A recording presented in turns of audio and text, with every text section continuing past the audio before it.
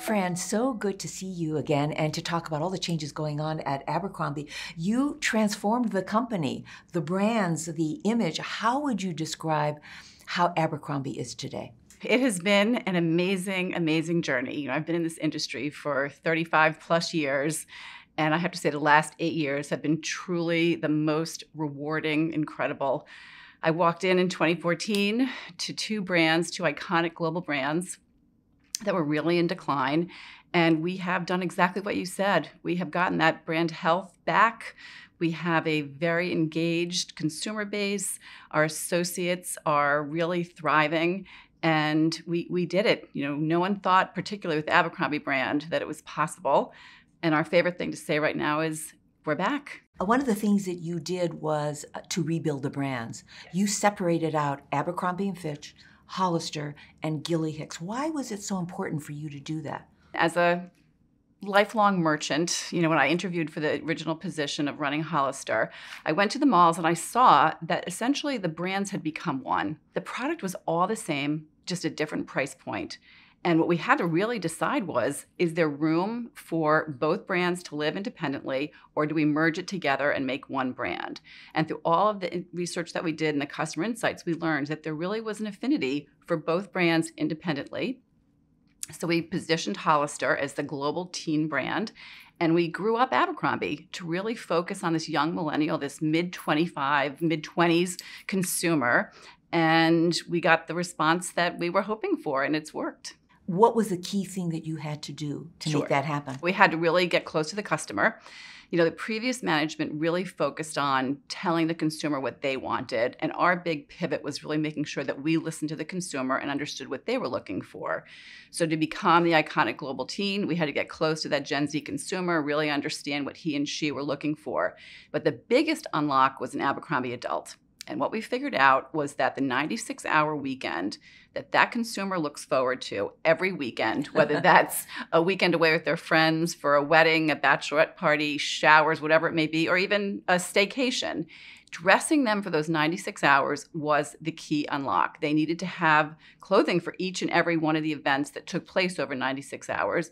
And that went from everything from Susie from YPB, our latest franchise of Your Personal Best, which is our activewear, through jeans and t shirts, through getting dressed up to our BDG, our Best Dressed Guest collection. So we really thought about those 96 hours and created a collection that would support each of those activities. You also closed many stores, you remodeled existing stores, you toned down that sexy, cool kids uh, image of Abercrombie.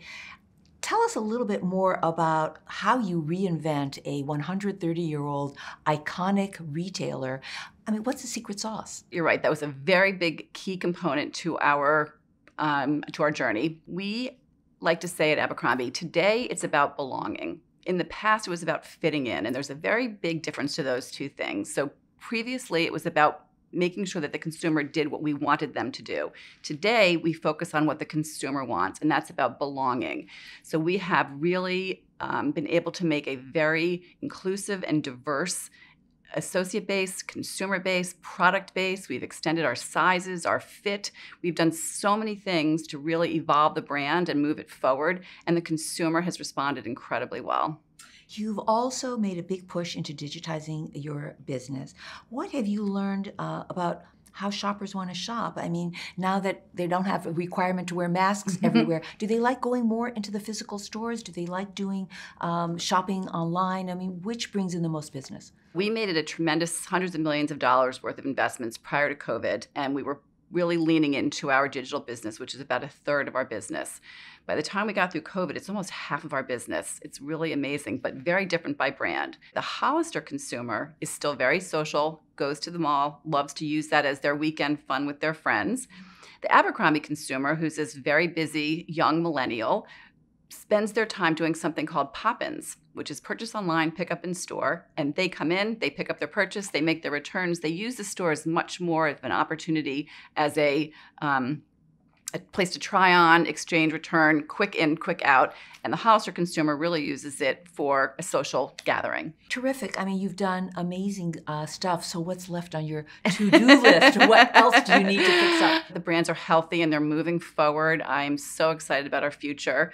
We had an investor day back in June and we shared our long range plan with the investor community we have our sights in 25 on you know 4 billion plus and an 8% EBIT margin and we talked about our long-term goals about being a global omni-channel retailer. So i'm super excited about where we are and where we're going. You mentioned a moment ago that you had your investor day. One of the things that you said at that gathering was that we expect macro headwinds to persist. Tell us a little bit more about your take on the economy. What worries you right now? Today, what I can tell you is it's interesting to see what's happening with the consumer he and she are actually fairly bifurcated. So our Abercrombie brand had a terrific Q2. That consumer seems to be less touched by the challenges that are happening in in the world today. Um, yet the Hollister consumer, that teen consumer, that family, the demographic of that consumer is definitely finding it much tougher. There's a lot of competition for the wallet, whether that's um, gas prices or food prices and clothing. So, you know, we experienced for back to school a much more judicious consumer, you know, really had to make choices this year. So it sounds like from what you're saying, this holiday season could be a pivotal test on consumer spending. What's your strategy to make sure that Abercrombie gets a big slice of the consumer's holiday shopping dollars? So our strategies have to have the right product at the right time at the right price for our consumer. We are looking forward actually to the fourth quarter. You know, relative to last year, Susie, where we were really challenged from an inventory perspective. not sure if everybody remembers, but we do a lot of production in Vietnam and Vietnam was closed at this time last year because of COVID. And then we had a big challenge getting our product here on a timely basis. In fact, a lot of it came after the holidays. This year, we changed our strategy and we brought our inventory in early, and we feel that we are ready um, and prepared to compete. Do you feel that you still need to offer promotions or cut prices? Listen, we made a lot of progress during COVID and we were able to really reduce our promotional activity. And our goal is, as we go into every single quarter, is to continue on that strategy. We will obviously manage the business as it comes and we'll see how the consumer is reacting, but we go in with a plan and a strategy to hold our markdowns and, and promote as needed. I want to go back to something that you said at a beginning of our conversation about how good you feel about the turnaround that you created at Abercrombie. I mean, you are coming up on your six year anniversary as a CEO. I mean, what are you most proud of? Very simply, I am most, most proud of my team and the culture that I've created.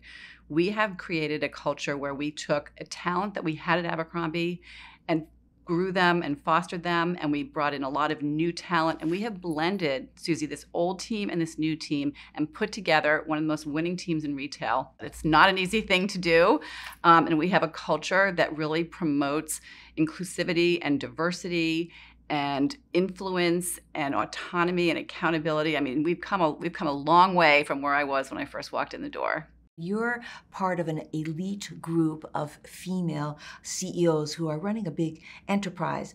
I mean, what advice do you have for a young woman who has the ambition that wants to be a CEO one day? What's the best advice on how to get there? Well, what I say to my team all the time is please make sure that you view me as a leader, not by gender. It's very important that everyone gets viewed by the experience that they bring and the success that they bring. So, whether that's male or female.